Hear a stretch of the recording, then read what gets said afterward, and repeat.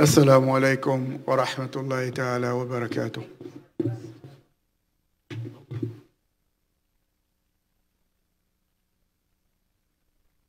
الله أكبر الله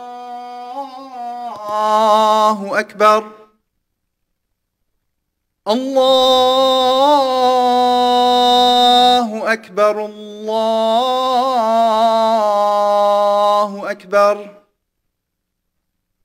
أشهد أن لا إله إلا الله. أشهد أن لا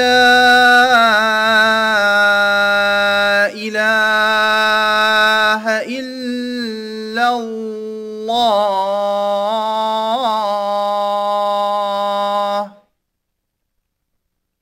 أشهد أن محمدا رسول الله.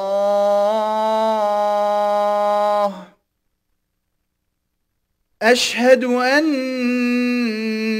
محمدا رسول الله.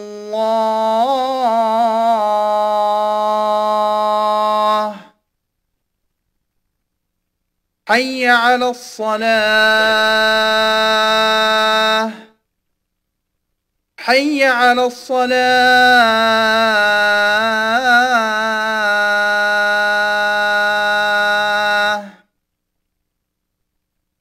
حي على الفلاح.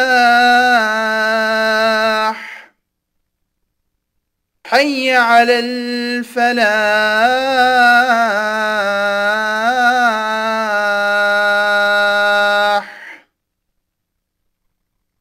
الله أكبر الله أكبر لا إله إلا الله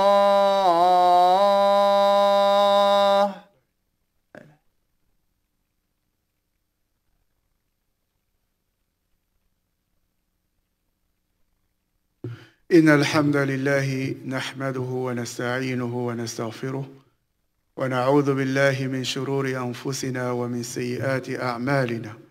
من يهدي الله فلا مضل له ومن يضلل فلا هادي له. وأشهد أن لا إله إلا الله وحده لا شريك له وأشهد أن محمدا عبده ورسوله.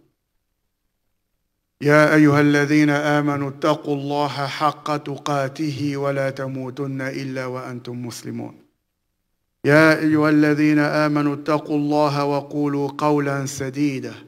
يصلح لكم أعمالكم ويغفر لكم ذنوبكم. ومن يطع الله ورسوله فقد فاز فوزا عظيما. أما بعد فإن أصدق الحديث كتاب الله.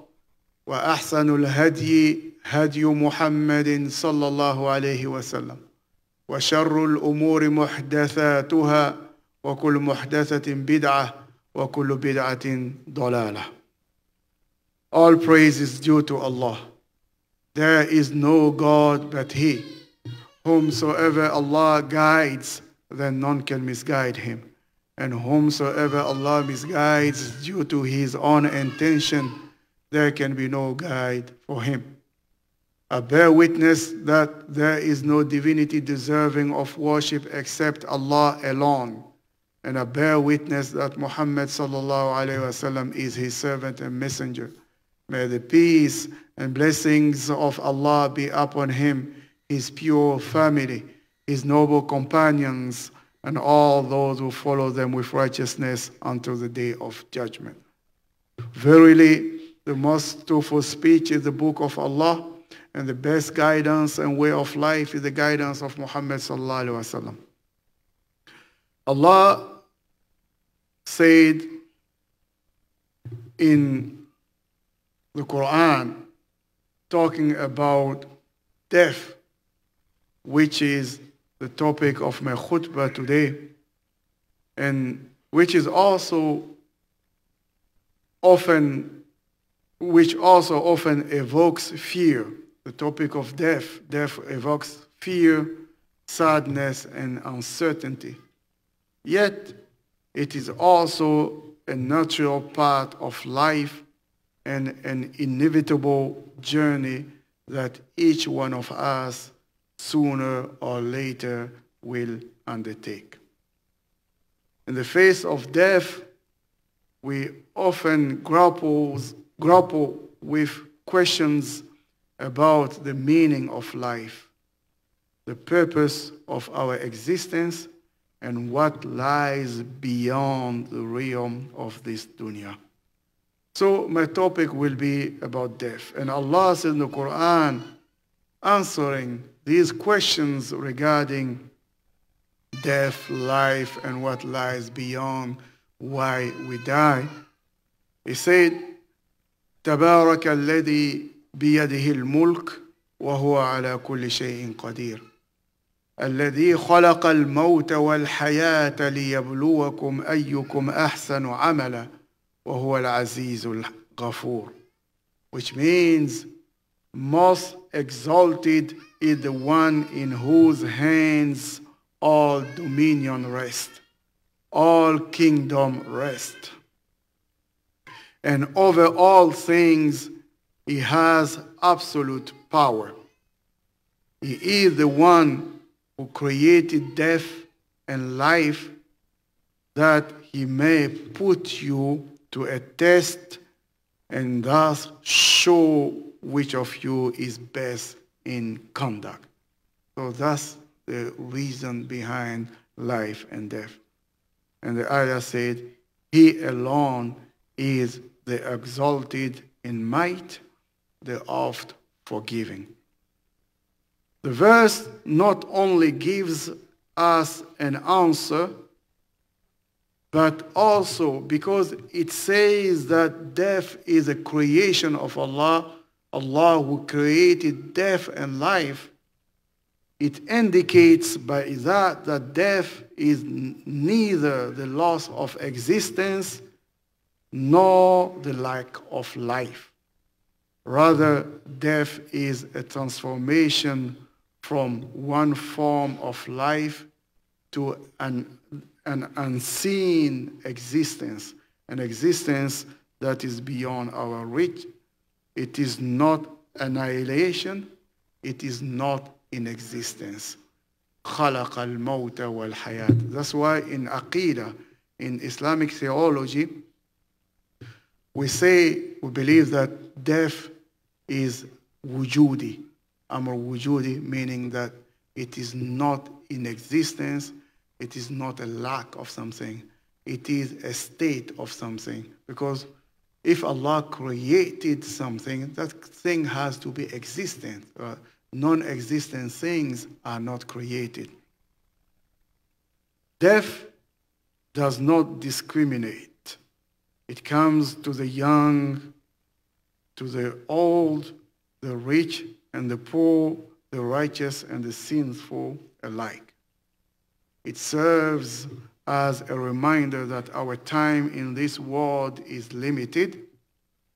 Therefore, we must make the most of every moment, every minute, every second we are given and prioritize preparations for success in the life to come, the life the hereafter.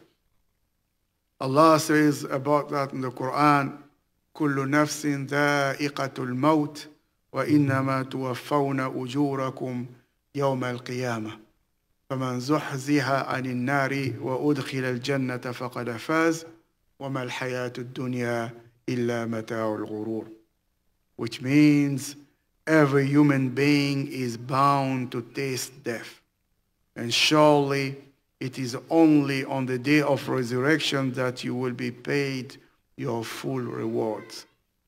So whoever is kept away from the fire and admitted in para to paradise has certainly succeeded. For the life of this world is nothing but an enjoyment of self-illusion. The fear of death is a kind of survival mechanism to prevent it from actually happening. We fear death so that we will not unnecessarily put ourselves to uh, danger uh, to face death. That's why Allah gave us this fear of death. We all fear and repress the idea of death to the extent that most of us like to think that it is only others who die, it is not us. We think that death passes us to take other people, but one day it will surely pass other people and to take us. And that's because dying, we fear death because dying runs counter to all what we appreciate, all what we praise, and all what we aspire for. It runs against life, and we love life. It runs against happiness. We love to be happy. It, run, it runs against youth, beauty, progress, achievement. But there's no escape. There's no escape from death. It will come, so we have to deal with it.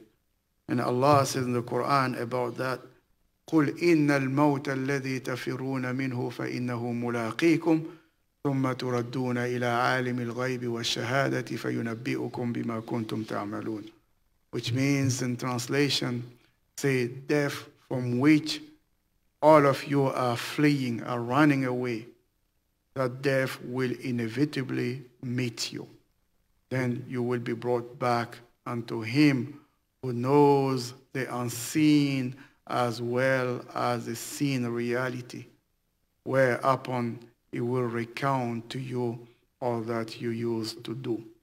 So Allah, Allah knows the seen and unseen reality. For us, we know, we only know the seen reality. The unseen, we don't know it. And unfortunately, some of us will even think that the unseen does not exist. It is not because you don't see it. It is not because you don't experience life after death that life after death does not exist. There is a correlation between the strength of our belief in Allah and our fear of death. As our faith in Allah strengthens, our fear of death diminishes. The more we fear Allah, the less we fear death. As Muslims, contemplating our mortality is not only advised, it's not only advised that we think that we will die and it may be tomorrow or after tomorrow, but we need to constantly think about death. That's not only advice, it is a requirement. Every Muslim has to think about that. Such reflection, contemplation, prepares the mind to embrace mortality, mortality, to embrace death as part of life. And it lends a, balance, a balanced perspective to life's experience, whether facing hardship or ease, happiness or sadness, comfort or discomfort, these temporary states fade, they become insignificant in comparison to the eternity of the hereafter, the eternal life that comes after death. So if you are in a good situation, healthy, wealthy, don't have any worries, remembering death will make you humble. It will not make you arrogant. It will not make you oppress other people because you know that one day you will pass away and you will be held accountable. If you are in a difficult situation, struggling with poor health, with financial challenges, and the situation of war, occupation, thinking of death will make these things easy because you know that it's temporal and the hereafter is most important. And we have a living example of how contemplating death, embracing death, help our brothers in Gaza, in Palestine, navigate their hardship. We all see or we have seen those journalists, one of the journalists of Al Jazeera, who lost almost all his family members in the morning and pray Salatul Janazah on them, and in the hereafter takes his camera going to report because he has to do it. He has to show people what's happening. If they did not have this, they did not embrace death, you're not, they're not thinking about death, this will be difficult to do. And that's why the Prophet ﷺ said in the hadith, أكثروا ذكر هذه اللذات فما ذكره عبد قط وهو في ضيق إلا وسعه عليه ولا ذكره وهو في سعة إلا ضيقه عليه which means the Prophet ﷺ said, frequently remember, remember the destroyer of pleasure. That's one of the name of death in Arabic. For whenever a servant remembers death while in difficulty, that remembrance of death will expand for him his situation. And we see that that's just temporal, so things are easy. You will not give up your right to resist because of death. You will not give up your right to live happy because of the situation. So it will expand things for him. And whenever he remembers death while in ease, it constricts him, it makes him limited. It will not be arrogant, it will not be oppressing others because of his good situation. Last Friday, it was with heavy hearts that our community has bid farewell to a friend whose presence in our community has illuminated the lives of all those who knew him. And that was Dr. Irfan Ahmad. May Allah shower him with mercy and rewards. He always saw the best in others and always tried to bring out the best in them. And that's not something that I heard, it's something that uh, I know, I experienced myself. He was blessed with the gift for making people feel seen, making people feel heard and valued. But perhaps what made Dr. Irfan Ahmad truly special is that he was a true embodiment of kindness. And it was an embodiment of compassion and generosity. His unwavering dedication to serving others knew no boundaries. And we are told in a hadith that these are the quality of those who are beloved to Allah. These are the quality of the awliya. The Prophet ﷺ was asked one day, أي الناس أحب إلى الله وأي الأعمال أحب إلى الله Who are the most beloved people to Allah and which actions are the most beloved to Allah? And the Prophet ﷺ answered by saying, the most beloved to Allah are those who are most beneficial to people. أحب الناس إلى الله أنفعهم للناس وأحب الأعمال إلى الله سرور تدخله على مسلم أو تكشف عنه كربة أو تقضي عنه الدين أو تطرد عنه جوع.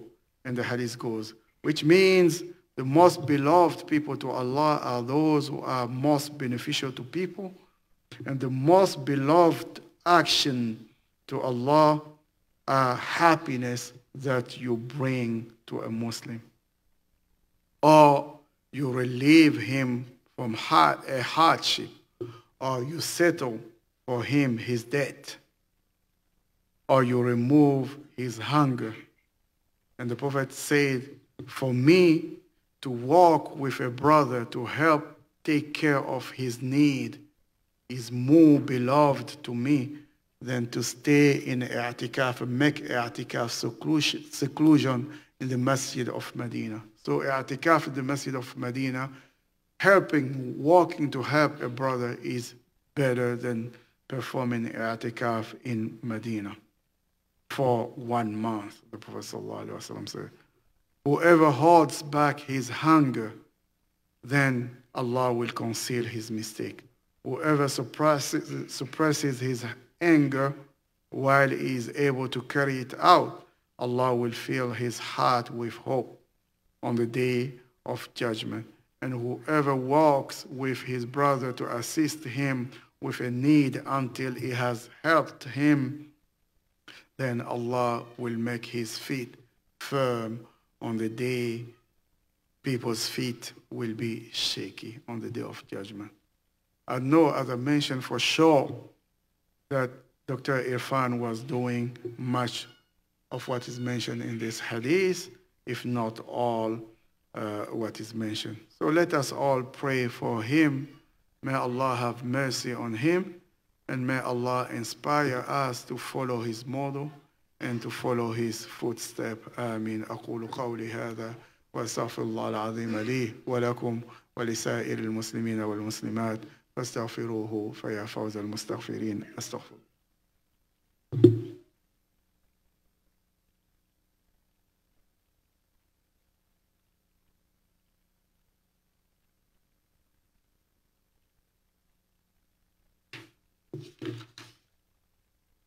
الحمد لله وكفى وسلام على عباده الذين اصطفى.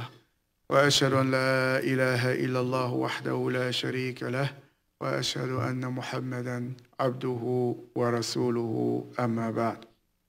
Allah says in the Holy Quran instructing us to be mindful of the temporary nature of this life and emphasizing at the same Allah is emphasizing to us the true life that we should be that should be our focus is not this life of dunya but the life to come after death.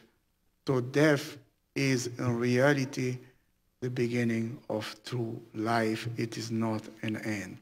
And Allah says about that وما هذه الحياة الدنيا إلا لهو ولعب وإن الدار الآخرة لهي الحيوان لو كانوا يعلمون which means the life of this world is nothing but amusement and play but the home the dwelling of the hereafter that indeed is the only true life on the last day of Prophet Muhammad sallallahu wasallam, peace, peace be upon him's life on this earth, when he was sick, he was trying to go to the masjid and pray in jama'ah. Sometimes he was able to make it, sometimes he was not. But during his last days, when he was not able to make it, the last day, uh, the um, last day, uh, Monday, he opened the curtain of the door. His door, his house was facing the Qibla of the masjid, so he can see the masjid from his door. And he saw the companions praying without him under one imam, following one imam. The Prophet ﷺ smiled. Those who were in the masjid knew, saw him, he was smiling. And we know that from the hadith of Anas, all the men who were in the masjid praying, they realized that when they were praying, they saw the curtain open and they saw the Prophet ﷺ smiling for the last time in their life. But they did not know what he said. In another hadith reported by Aisha, we know what he said because women of his household were those who were with him in the house not going to the masjid, like Aisha, the daughter of the Prophet sallallahu alaihi wasallam, Fatima, Zahra, and um, uh, some of his wife and his, the, the wife of his uncle, uh, Umm al-Fadl, the wife of al-Abbas. So Aisha reported that when he smiled after that, he said this, يا أيها الناس أيما أحد من الناس أو من المؤمنين أصيب بمصيبة فليتعزى بمصيبته بي عن المصيبة التي تصيبه بغيره فإن أحدا من أمتي لن يصاب بمصيبة بعدي أشد عليه من مصيبتي which means oh people anyone amongst the Muslims or the believers who is afflicted with a calamity of losing a loved one, losing an important member of your family or your community, let that person take counsel, comfort, solace in remembering the loss of the Prophet how it affected the Ummah and affected the Sahaba. Because no one will be afflicted with a calamity worse than the calamity of losing the Prophet. This means that if you lose someone who is dear to you, your, though it is difficult, think about the Prophet wasallam, and that should help you control your emotion and embrace life and accept life uh, uh and uh, uh, accept death. If the Prophet wasallam passed away, no one will remain eternal on this earth.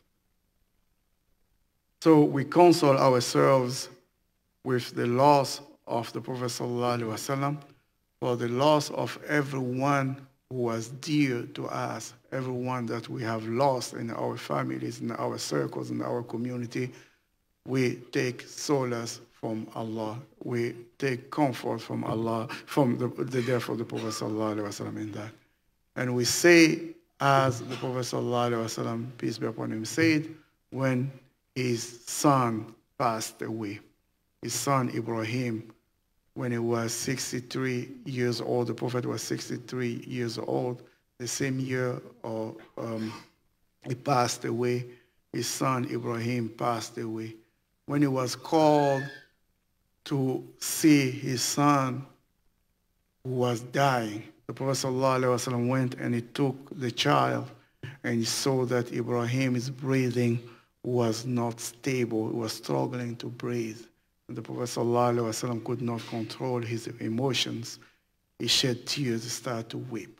Some of the Sahaba thought that this is a weakness. This um, everybody can cry except the Prophet ﷺ. But one of the Sahaba said, even you, the Prophet ﷺ, you cry. And the Prophet ﷺ said, yes, this is a mercy. That's mercy that Allah puts in the heart of people.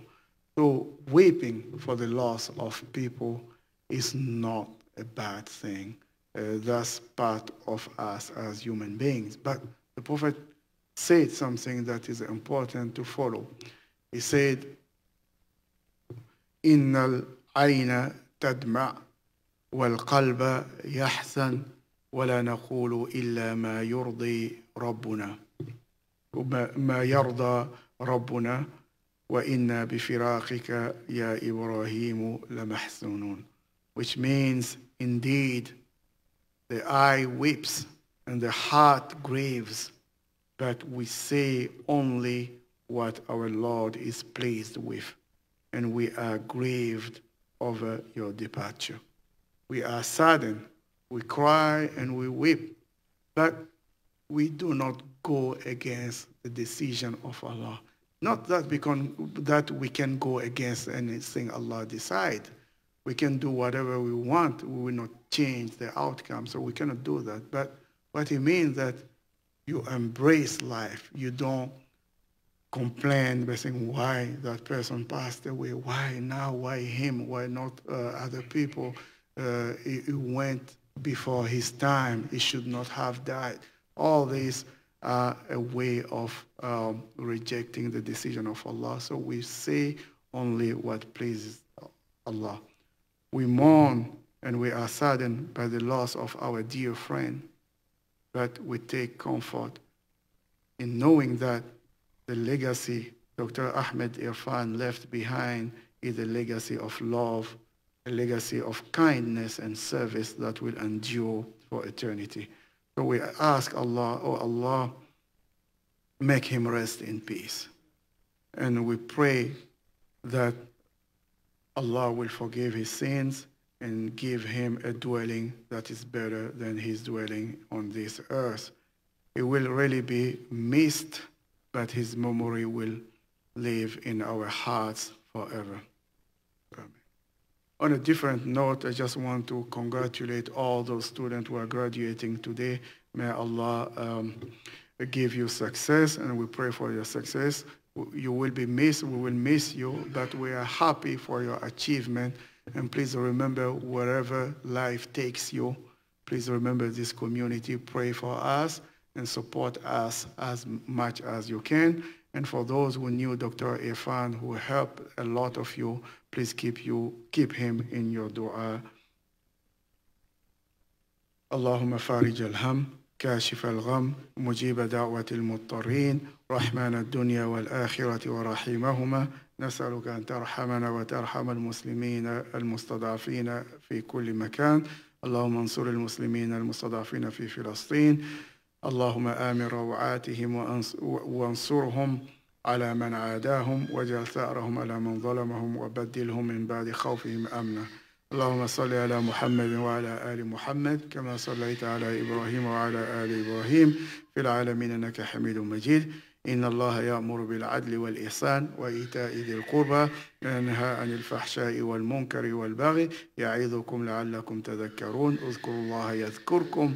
واشكروه على نعمه يزدكم ولذكر الله أكبر والله يعلم ما تصنعون أقيموا الصلاة and I remind we also lost uh, a brother yesterday uh, brother Ali Abdul Karim the father of sister Azza Abdul Karim and the brother-in-law of Matthew Peak Janaza will be tomorrow here in the masjid after Zuhur inshallah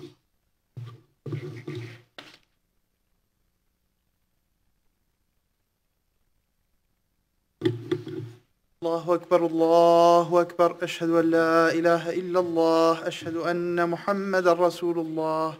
حي على الصلاة حي على الفلاح. قد قامت الصلاة قد قامت الصلاة. الله أكبر الله أكبر. لا إله إلا الله. يا الله استووا استووا اعتدلوا. قيموا صفوفكم تراصوا ولا تختلفوا فتختلف قلوبكم. Please stand to shoulder.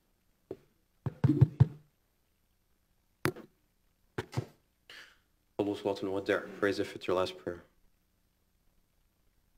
الله أكبر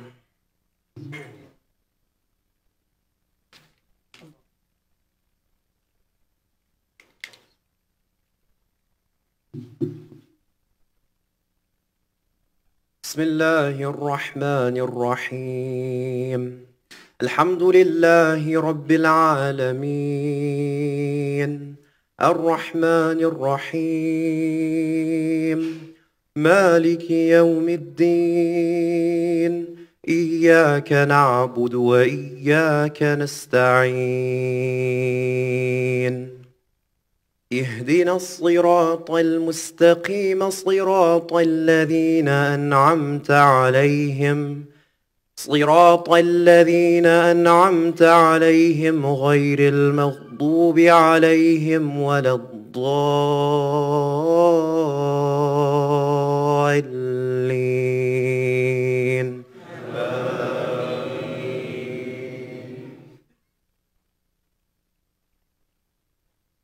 ولقد نعلم أنك يضيق صدرك بما يقولون.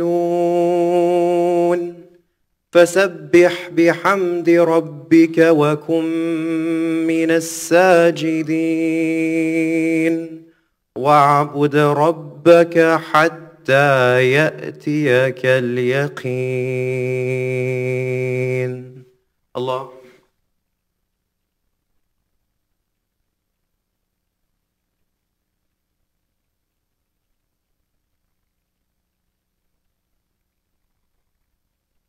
سمع الله لمن حمده. الله أكبر.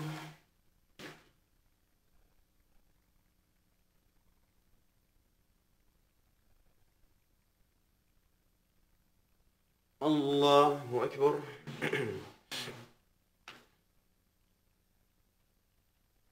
الله أكبر.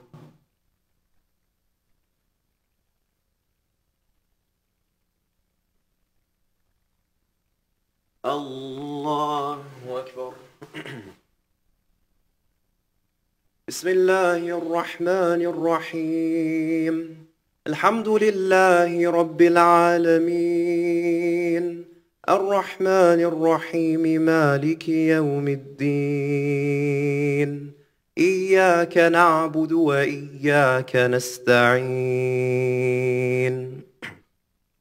اهدنا الصراط المستقيم صراط الذين أنعمت عليهم صراط الذين أنعمت عليهم غير المغضوب عليهم ولا الضالين.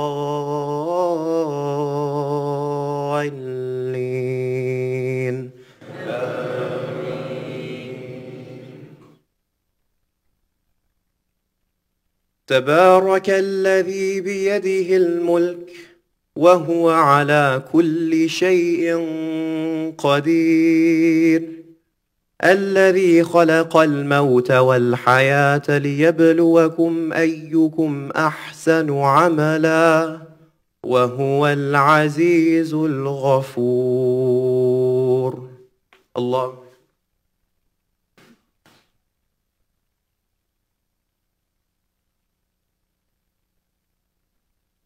سمع الله لمن حمده. الله أكبر.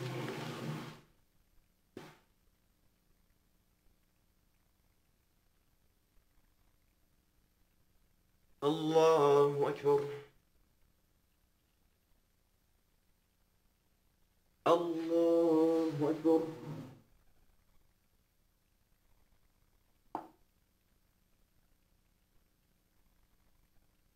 الله أكبر.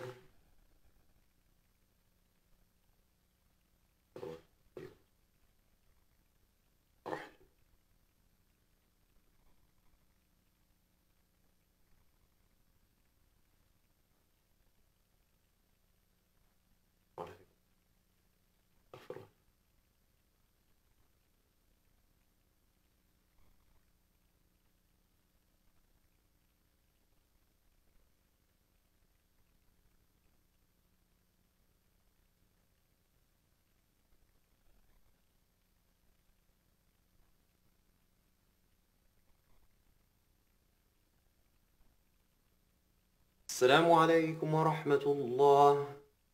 السلام عليكم ورحمة الله.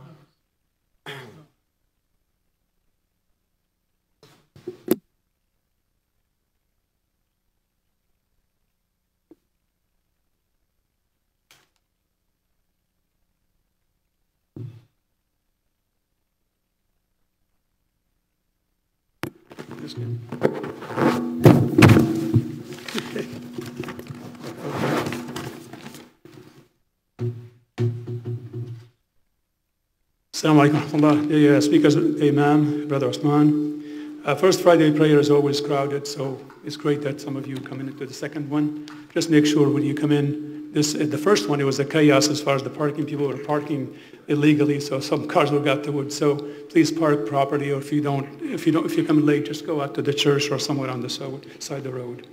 Okay, uh, so masjid must be locked uh, uh, one hour after Isha. Masjid used for any group or function must be requested in advance. Deposit is required. Lincoln Avenue site renovation is done. Uh, Al-Fatiha tab- tablet, tablet, tablet in Arabic and in English. I don't know what that is. Uh, translations, so we have that. Saturday, May 18th, the annual Masjid picnic at the Walnut Shelter in Kickapoo State Park, uh, which is on 74, about maybe 40 miles or so. If you wish to uh, help the masjid, please uh, see Brother Waqar in the office or call Waleed Jassim 217-819-8112. Pizza, pizza is $7 donations for lunch. There's the janazah, as the Imam have said, uh, tomorrow after Dhuhr, prayer Brother Karim, and, uh, uh, which is Azza's sister, Azza's father. So uh, hopefully everybody will, will come. Okay. Assalamu alaikum.